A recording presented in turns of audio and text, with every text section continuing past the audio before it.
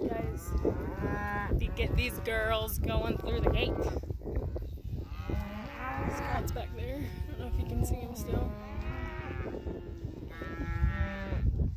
He's working on. Oh, and I'm riding a three-year-old. If you know me, that's great because I lost a lot of confidence one year getting bucked off and stuff a lot. So the fact that I'm on Holly, three-year-old, man, living the dream.